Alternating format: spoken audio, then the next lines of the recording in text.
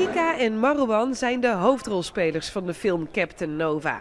Echt bizar, allemaal die foto's en camera's. Ja, echt heel vet. En voor jou? Ja, hier wacht je op uh, vanaf de allereerste draaidag. Dit is het moment uh, waar we het voor doen. In de film speelt Marwan een jongen die leeft in de huidige tijd en Kika speelt iemand uit de toekomst. Go for lunch.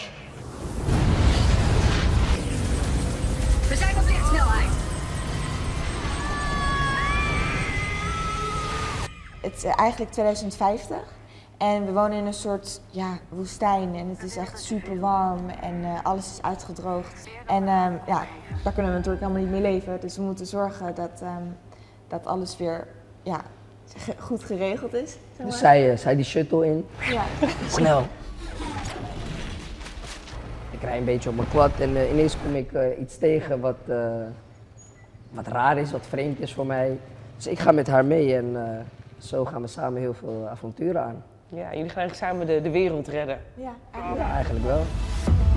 Zoals in veel science fiction films zit ook deze film vol met special effects. En de opnames waren voor de acteurs daardoor best uitdagend. Ready for take-off? Dus die space shuttles die in de lucht gaan, dan worden er bijvoorbeeld lichtjes op de grond gezet, zodat daar dus uh, weten van oké, okay, daar moeten we dus iets editen zodat hij de lucht in gaat. En dan moet je dus spelen alsof je helemaal de lucht in is gaan. En dan soms zei de regisseur, Maurice, die zei dan, ja, nu iets meer links kijken, nu naar omhoog, nu zo. Dus het was altijd een beetje ingewikkeld waar je naar moest kijken. Maar uh, ja, het, het, het ging wel. De regisseur en de scriptschrijver zijn ook de bedenkers van de populaire tv-serie De Regels van Floor. En volgens hen zijn de hoofdrolspelers perfect gecast voor de film. Bij deze twee was dat eigenlijk gelijk een schot in de roos. En uh, allebei heel ontspannen en slim en meedenkend. En ze kunnen allebei gewoon heel goed natuurlijk acteren. En heel goed in comedy zijn ze ook allebei. Ik vind het geweldig geworden. Het is echt een hele goede film geworden. Dus ik ben super trots. Ze mogen haar niet vinden. De hoofdrolspelers zijn trots op het eindresultaat en hopen natuurlijk dat veel kinderen de film gaan zien. Deze film is natuurlijk ook gemaakt zodat we echt laten zien dat het echt, echt, echt niet goed gaat met de aarde.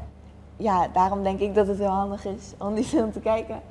Buiten deze hele belangrijke punten is het sowieso gewoon een, uh, een hele leuke film met uh, veel uh, uh, grapjes, van die kleine grapjes waar, waar ik helemaal stuk op ging gisteren. We hebben echt iets heel, heel tofs neergezet.